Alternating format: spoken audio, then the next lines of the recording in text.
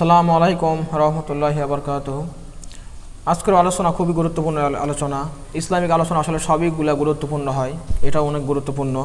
আজকে যে আলোচনা, সেটা হচ্ছে পিএ নবীর ঘোষণায় সর্বশ্রেষ্ঠ জিকির ও দোয়া। পিএ নবীর ঘোষণায় সর্বশ্রেষ্ঠ জিকির ও দোয়া। জিকির এবং দোয়া আল্লাহ তাআলা শ্রেষ্ঠ ইবাদত।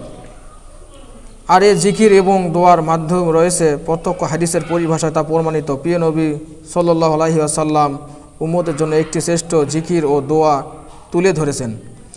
হজরত জাবের রাজিল্লা আনহু বলেন রাসুল্লাহ সাল্লাহ সাল্লাম বলেছেন, সর্বশ্রেষ্ঠ জিকির হলো লা ইলাহা আর শ্রেষ্ঠ দোয়া হলো আলহামদুলিল্লাহ।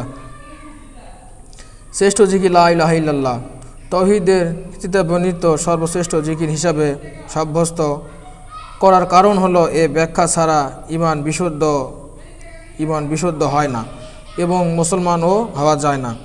আর এ জিকিরই হলো ইসলামের ও ইমানের পরিচিত একমাত্র প্রমাণ, প্রধান মাধ্যম, একমাত্র প্রধান মাধ্যম, শ্রেষ্ঠ দোয়া আলহামদুলিল্লাহ।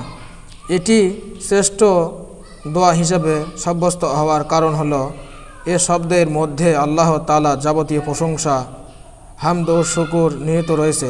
মানুষ নিয়ামত ও বরকতের কৃতজ্ঞতা স্বরূপ শব্দটা পড়ে থাকে। যেভাবে আল্লাহ তালা মানুষকে কৃতজ্ঞতা প্রকাশ করতে বলেছেন, আল্লাহ বলেন, যদি তোমরা কৃতজ্ঞতা প্রকাশ করো, তবে আমি নিয়ামত বাড়িয়ে দেব।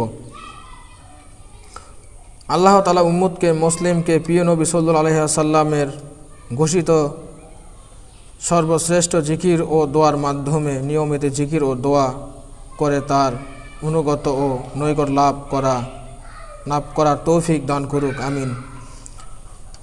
তাহলে যে ভিডিও আজকে যে ভিডিও প্রিয় নবী ঘোষণা, সর্বশ্রেষ্ঠ জিকির ও দোয়া, এ নিয়ে আলোচনা করেছিলাম আলোচনা যদি ভালো লাগে, অবশ্যই লাইক কমেন্ট করবেন।